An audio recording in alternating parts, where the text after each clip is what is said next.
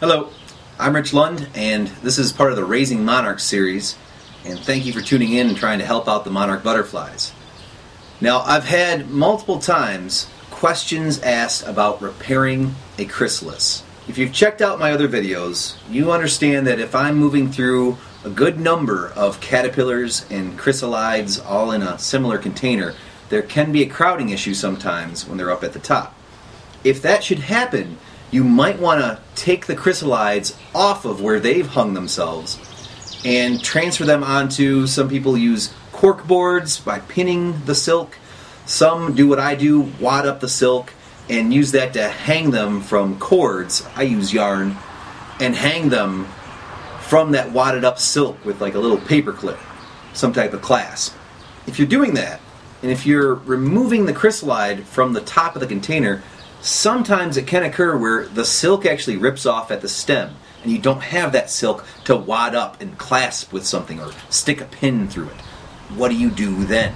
Other times, people have told me that the chrysalis just didn't get woven into the silk correctly. The caterpillar didn't produce enough silk to make it a secure chrysalis hanging, and the chrysalis has fallen. Sometimes it falls and it, it breaks open. Other times it's fallen and there's been cushion underneath, like grass or something, that'll help protect it, but still, it's not hanging anymore.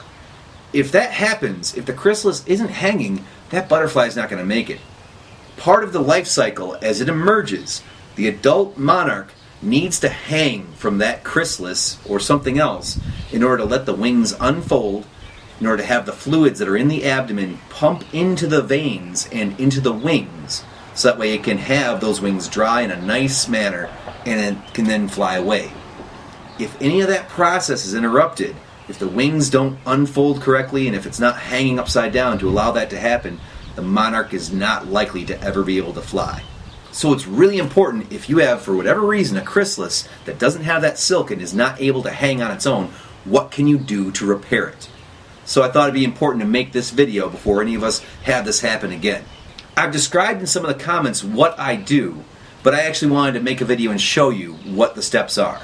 If you checked out the last video where I showed you how to tell the sex of a monarch butterfly from just looking at the chrysalis, then you might be familiar with this one.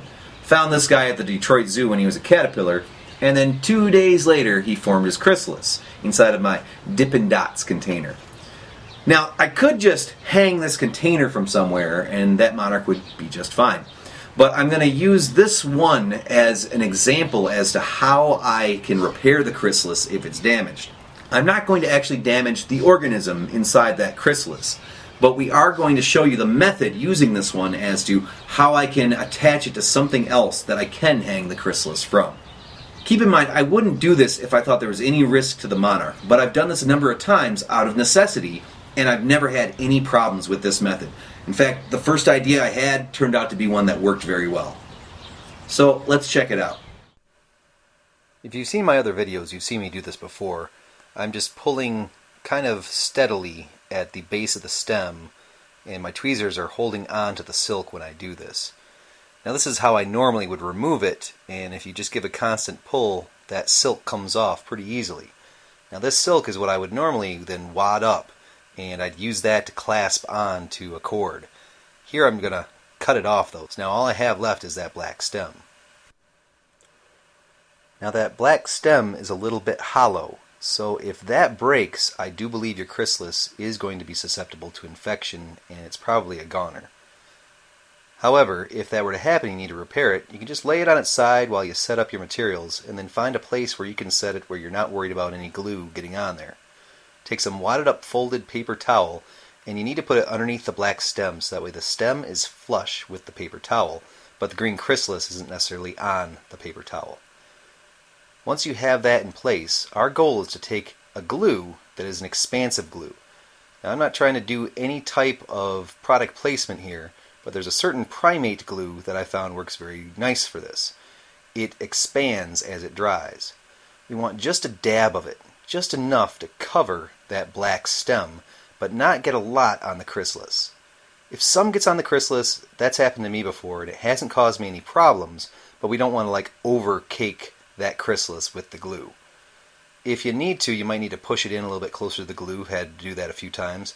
And I've even used a popsicle stick to sometimes dab the glue a little bit closer to where I wanted to get it, where it was intended to go. And so I might need to do that a little bit, might need to add a little bit more glue. And again, the goal is to get the black stem submerged in the wet glue. Once the glue completely covers the stem, well, then you just need to wait for it to dry. And out of scientific curiosity, let's actually use this timer and we'll see how long it takes. So let's go ahead and start the timer and we'll see how long this takes. About 26 minutes later, we can already start to see some bubbling inside of the glue. That's how this glue expands as it dries. Bubbles form within it as it's starting to dry, which puffs out the glue. But right now it's still moist and wet, still flexible. An hour and a half later, and now we have some very stiff, very dried glue. If I pull on it or tug on it, which I wouldn't want to do too hard with this chrysalis, I can see that it's not flexing at all. In fact, I can hold the paper towel completely horizontal and the chrysalis is not moving or bending in that glue. So I know it's nice and firm. So now we can cut out the swatch of our paper towel that we want to use. And once we have that, we'll be able to clasp that or pin it to any board that we wanted to. And now you have a completely repaired chrysalis. So there you go.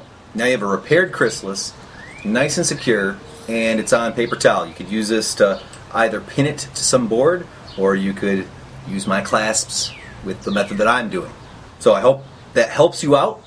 If this did give you that helping hand, please give it the thumbs up. It actually does help get these videos out to more people and get more exposure for them to help out the cause.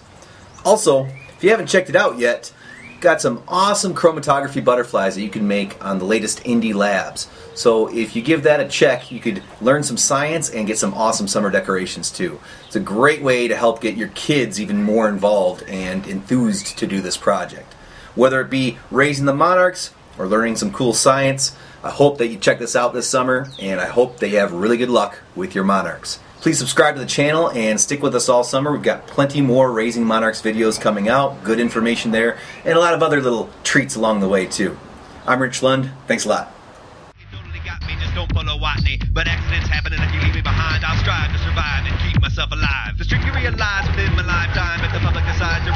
budget lines, why fund wars? We can fund space explorers. One I implore is more historically adored. From getting to the moon, we had economic boom.